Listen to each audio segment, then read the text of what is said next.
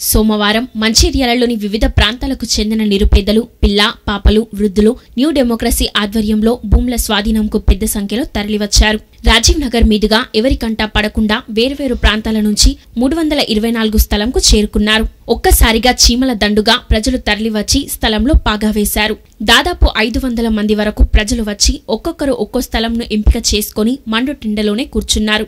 మధ్యాహ్నం సమయంలో తహసీల్దార్ సదానందంకు సమాచారం అందడంతో అక్కడికి వెళ్ళి పరిస్థితిని సమీక్షించారు. సీఐ ప్రమోద్రావు కూడా సిబ్బందితో వెళ్ళి ఇలా స్థలాలను ఆక్రమించడం సబబు కాదని హితవు పలికారు. స్థలాల్లో పాగా వేసిన ప్రజలు మాత్రం కదలడానికి సుముఖత చూపలేదు. ఈ సందర్భంగా న్యూ డెమోక్రసీ నేతలు శ్రీనివాస్ అందెమంగా లాల్ కుమార్లు మీడియాతో మాట్లాడుతూ నిరుపేదలకు మూడు వందల ఇరవై నాలుగు సర్వేలోనే స్థలాలు ఇవ్వాలని డిమాండ్ చేశారు. గతంలో ఎన్నో పర్యాయాలు కలెక్టర్కు నిరుపేదలకు ప్రభుత్వ స్థలంలో ఇండ్ల పట్టాలు ఇవ్వాలని కోరినప్పటికీ స్పందించకపోవడంతో ప్రజలు ఎర్ర జెండాలు పాతి స్థలంను ఆక్రమించుకున్నారని వారు తెలిపారు. అధికారులు ఎలాంటి చర్యలు తీసుకున్నా అన్నింటికీ సంసిద్ధంగా ఉన్నామని వారు అన్నారు. ప్రజాప్రతినిధులు ప్రభుత్వ భూములను ఆక్రమించుకొని అమ్ముకుంటే అధికారులు ఏమి చేస్తున్నారని వారు ప్రశ్నించారు. ఈ కార్యక్రమంలో న్యూ డెమోక్రసీ నేత దేవరాజ్ పాల్గొన్నారు.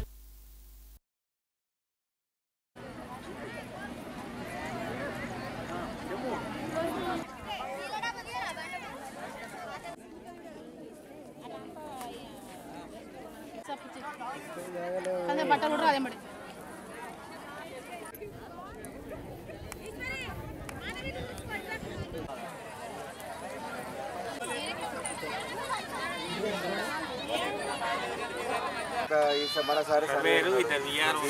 కానీ అంతే.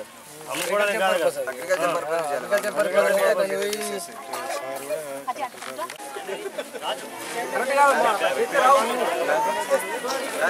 మంచిర్యాల పట్టణంలో ముప్పై నాలుగు వార్డులలో దాదాపు పదివేల మందికి పైగా అర్హులైనటువంటి పేద ప్రజలు డబుల్ బెడ్రూమ్లకు ఉన్నారని ప్రభుత్వ సర్వేలు చెప్తా ఉన్నాయి. ప్రభుత్వం వచ్చి మూడున్నర సంవత్సరాలైంది. మూడున్నర సంవత్సరాల కాలంలో ఏ ఒక్కళ్ళకి కూడా డబుల్ బెడ్రూమ్ ఇవ్వలేదు. మొన్న మొక్కవేడిగా నూట ఇరవై అక్కడ ప్రారంభిస్తే అది కూడా హైకోర్టులో ఉండి అవి కూడా స్టే స్టే వచ్చినాయి. కనుక డబుల్ బెడ్రూమ్లు ఈ మంచిర్యాల పట్టణానికి వచ్చేటువంటి పరిస్థితి లేదు. వచ్చినా వంద సంవత్సరాలకు కూడా ఇప్పుడున్నటువంటి అర్హులకు ఇచ్చేటువంటి ఒక పరిస్థితి లేదు. కానీ మంచిర్యాలలో ఉన్నటువంటి పరిస్థితి ఏంటంటే ప్రభుత్వ భూములు అనేకం ఉన్నాయి. ఐదు వందల ఎకరాల పైన ప్రభుత్వం గుర్తించినటువంటి భూములే ఉన్నాయి ప్రభుత్వ భూములు. అదేవిధంగా రాజకీయ నాయకుల చేతుల్లో అదేవిధంగా కబ్జాదారుల చేతుల్లో భూమాఫియా చేతుల్లో అనేకమైనటువంటి ప్రభుత్వ భూములు ఇప్పటికే వాళ్ళు కబ్జా చేసినటువంటి ఒక పరిస్థితి ఉంది వాటన్నిటిని స్వాధీనం చేసుకుంటే ప్రభుత్వ భూములు ఉంటే ఇక్కడ ప్రతి మనిషికి ఇక్కడ అర్హులైనటువంటి ప్రతి పేదవాడికి ఒగ్గుంట జాగిచ్చి ఐదు లక్షల రూపాయలు ఇవ్వాలని మేము డిమాండ్ చేస్తున్నాం. ఎందుకంటే ఇవాళ బెడ్రూమ్లు నువ్వు ఐదు లక్షలు ఇస్తే కాంట్రాక్ట్లో వచ్చేటట్లేదు. నువ్వు భూములు కూడా కేటాయించేటువంటి పరిస్థితి లేదు కనుక. మేము కోరేటువంటిది మీరు ప్రభుత్వ భూములు ఉన్నాయి కనుక ఇక్కడ ఉన్నటువంటి పదివేల మందికి అందరికి కూడా మీరు ఒక్కొక్కళ్ళకు గుంట జాగివ్వండి అని చెప్పేసి వాళ్ళు వచ్చి భూముల మీదకి వచ్చారు. కనుక ఇప్పటికైనా ప్రభుత్వం స్పందించకపోతే ఇంకా భూ భూ భూములు ఇక్కడ మంచిర్యాల పాత మంచిర్యాలలో అదేవిధంగా రంగపేటలో అనేక ప్రభుత్వ భూములు ఉన్నాయి ఆ భూముల్లో కూడా మేము జెండాలు వాతి భూ పోరాటం నిర్వహిస్తాం ప్రజలకు గుంట జాగ ఇప్పించే విధంగా ఉద్యమం చేస్తాం. వల్ల మంచిర్యాల పట్టణం చెందినటువంటి వివిధ వార్డులలో ఉన్నటువంటి అనేక నిరుపేదలు సిపిఎంఎల్ న్యూ డెమోక్రసీ జెండా ఆధ్వర్యంలో మూడు వందల ఇరవై నాలుగు నెంబర్ సర్వేలోకి రావడం జరిగింది. ఇక్కడ ఉన్నటువంటి భూమి కూడా గత కొంతకాలంగా వివాదాస్పదంగా బయటపడ్డది. ఇది ప్రభుత్వ భూమి.